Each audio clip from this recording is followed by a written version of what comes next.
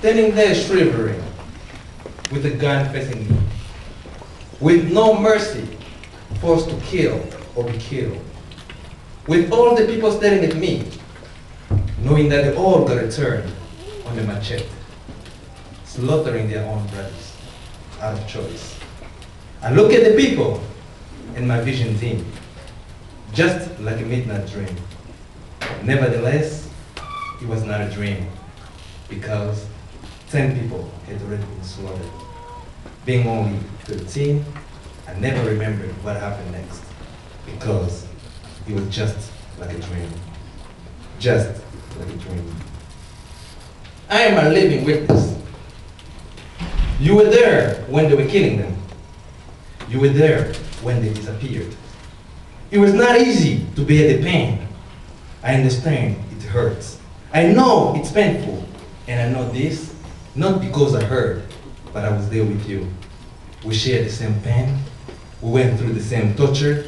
We suffered the same loss.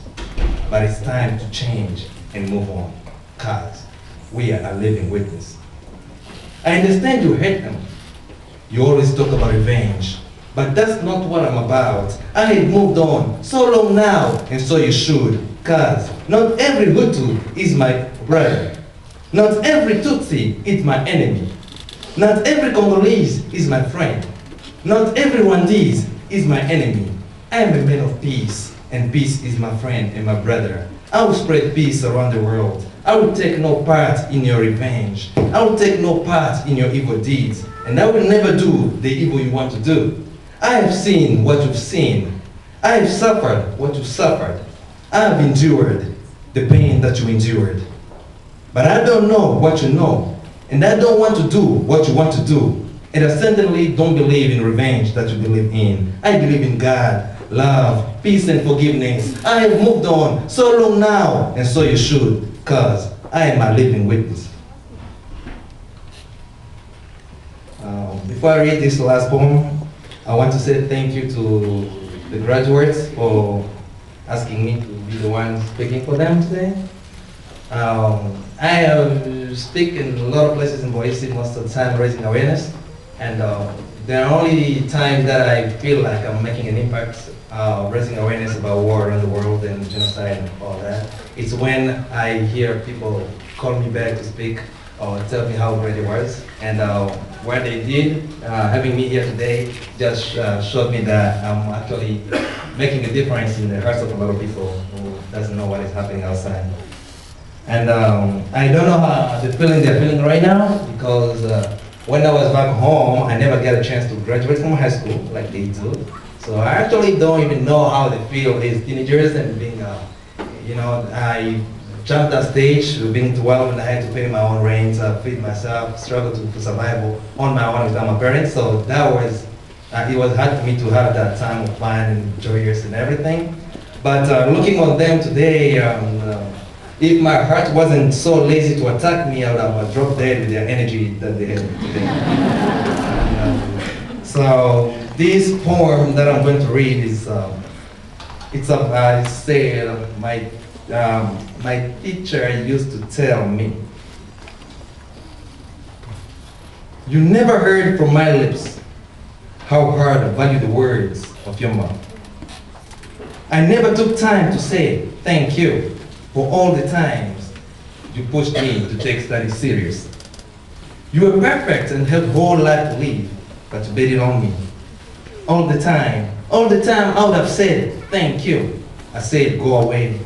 All the times, all the times I would have appreciated you. I took you for granted.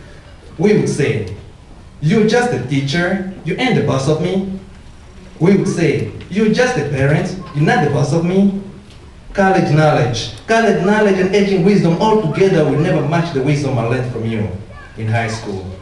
And even though, and even though I'm yet to understand the knowledge of how successful you kept me up until today, up until today I'm yet to discover the value of the knowledge you instilled in me. But I know, but I know with time out there, uh, but I know with time out there, it will be a wisdom that I'll be remembering every time I'm about to take a new challenge. And even though, and even though you won't be around to take credit, but in my heart, I will know that If it wasn't for you, I've never been the person standing. Now, we got a smile on our faces. It's graduation day, let's rejoice. But 48 hours from this day, 48 hours from this day, the wind will blow, the plane will take off. Our hearts will hurt as we'll be waving goodbye to those that are leaving or going out of state, as the buses will be taking off. And it's from this moment forward, from this moment forward that we realize how much of your love, your care, your understanding and willingness that we did not appreciate when we needed to. And we wish to say thank you, but you won't be around. And that's when the phrase, the phrase, my teacher used to tell me, will start being used in every one of our conversations. Thank you very much for having me here today.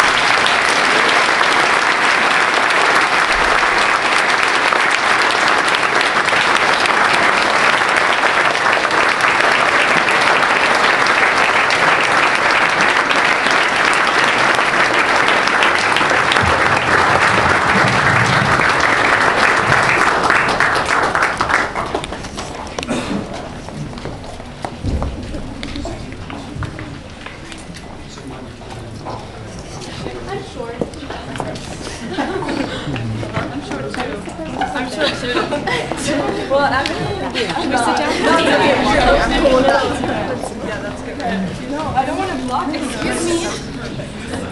Okay, are you ready? Because I'm going to count to three. Ladies and gentlemen, it's the graduating class of 2010. One, two, three.